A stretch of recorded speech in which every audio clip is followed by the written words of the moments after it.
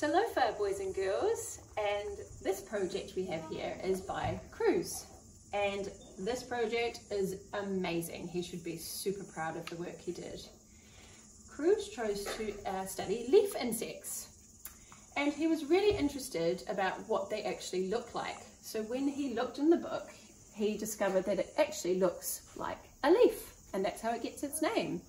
And he has written here, the body of the leaf insect has wide flat parts to look like leaves. So that is how the leaf insect gets his name. Also, Cruz would wanted to know what they eat.